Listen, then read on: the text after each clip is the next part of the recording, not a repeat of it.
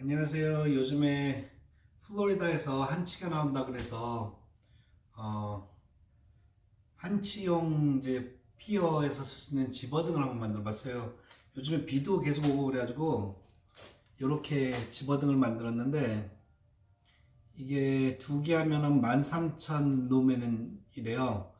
그래가지고 굉장히 밝고 뭐 짧으니까 그냥 써도 되고 나중에 거치대에다 해서 피어에서 이렇게 놔도 되고 이렇게 두 개를 만들어 봤는데 브러징 낚싯대에다가 연결해 가지고 피어 카트에다가도 쓸 수 있고 나중에 거치대에다가도 쓸 수 있게끔 만들어 봤습니다.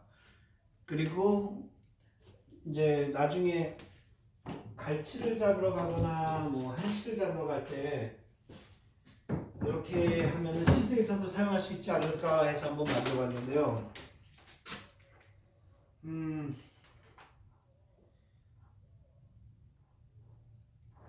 어쩌면은 기깅도 될 수 있지 않을까 하는 바람은 있지만은 사실 광어 기깅은 이걸로는 조금 힘들 것 같긴 한데